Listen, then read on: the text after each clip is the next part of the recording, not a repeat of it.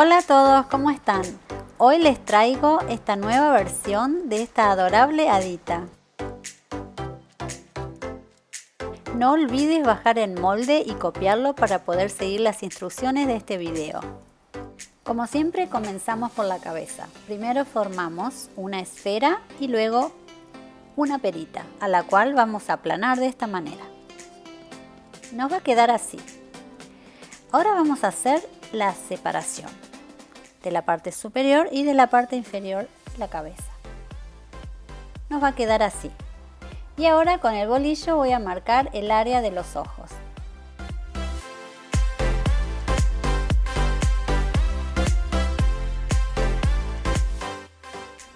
Ahora voy a tomar el ruleteador y voy a empujar la masa hacia arriba y hacia el centro para definir la naricita. Después voy a marcar dos huequitos a los lados de la boca y vamos a hacer una curvita. Con el estilete hacemos dos huequitos para los ojos y los profundizamos. Ahora voy a tomar dos pelotitas de masa negra, las vamos a insertar en los huequitos, las vamos a aplanar y después con esta herramienta vamos a marcar y delinear los párpados. Nos va a quedar así. Con pintura acrílica blanca voy a iluminar los ojos. Le vamos a marcar dos puntitos. Y luego vamos a hacer dos rayitas en las bases.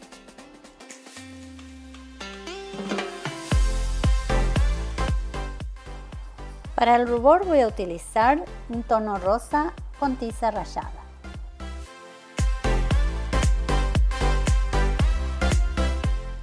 No olvides preparar el molde para completar el proyecto.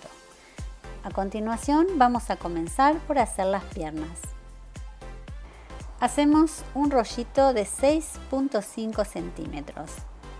Luego lo vamos a colocar en el molde. Nos debe quedar un poquito más corto que el original. A la altura de 2 centímetros aproximadamente vamos a hacer la división del pie. Luego vamos a presionar y pellizcar el taloncito para definir bien la formita. Ahora colocamos la piernita sobre el molde y la vamos a ir presionando y pellizcando de a poco hasta que obtenga la formita de la base.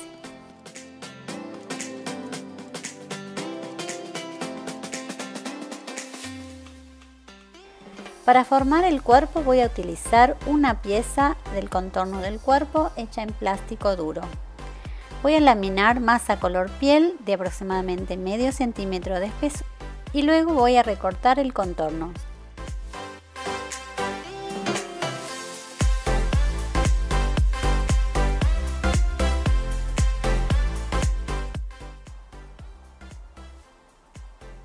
Ahora presionamos a los lados para darle la misma forma del molde.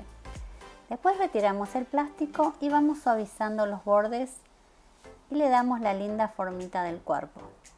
Y nos va a quedar así.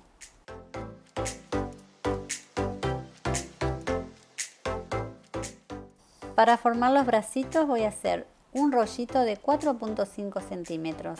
Lo voy a colocar sobre el molde y luego voy a hacer la división como hicimos con la pierna. En este caso vamos a hacer las manos. Presionamos así y luego le damos la formita como se ve en el dibujo. A continuación sacamos los deditos y de a poco los vamos pellizcando y suavizando hasta darle la forma que queremos.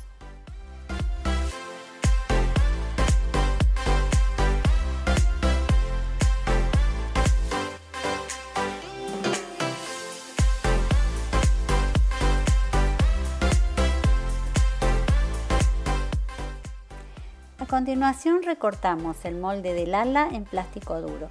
A continuación voy a usar una masa muy liviana que es especial para estos tipos de efectos. Vamos a colocar el molde en la superficie y vamos a cortar el contorno. Retiramos el molde y con los dedos presionamos en el borde para suavizar y para aplanar. Para terminar decoramos con unas líneas y luego le damos una formita.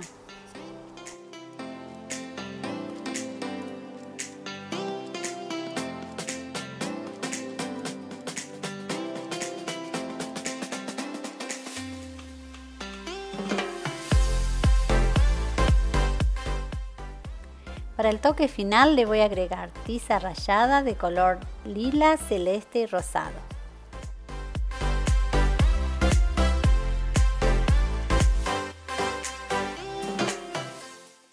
Para formar la pollera voy a utilizar tres colores y los voy a mezclar entre sí.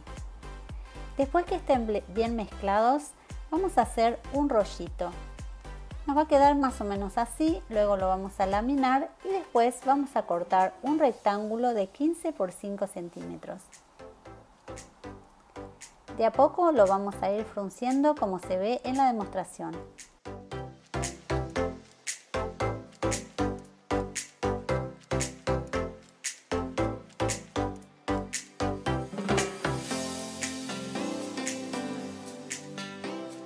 Ahora vamos a darle los detalles finales.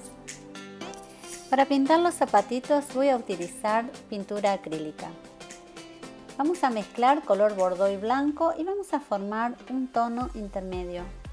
No se olviden de diluirlo con un poco de agua para que sea más fácil el proceso.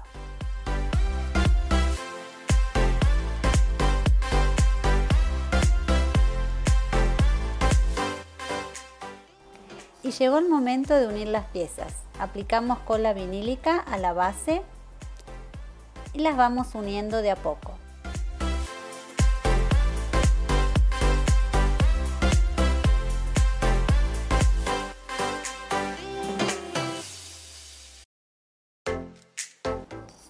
Para formar el pelo voy a utilizar una esfera de masa color marrón de aproximadamente 2 centímetros. El resto lo hacemos siguiendo las instrucciones que se ven en el video.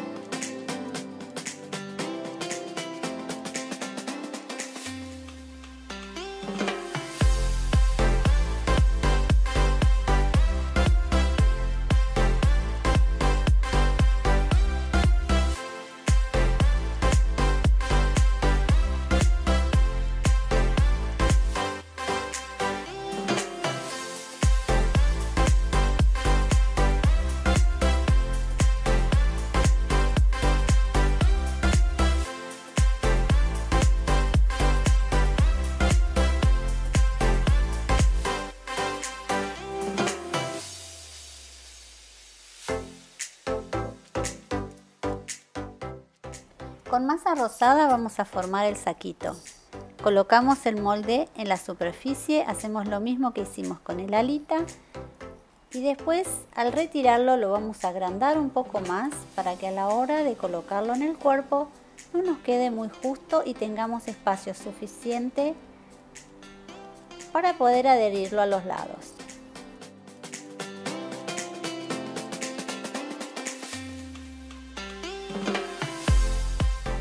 Y ya nos quedan unos pocos detalles. Ahora vamos a formar unos rulitos y los vamos a adherir a los lados de la cabecita. Tú puedes hacer tu propio diseño. Si te gusta otro tipo de detalles también se los puedes agregar.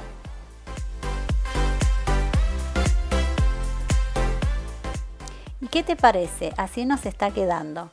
Pero no se vayan que todavía nos faltan unos detalles.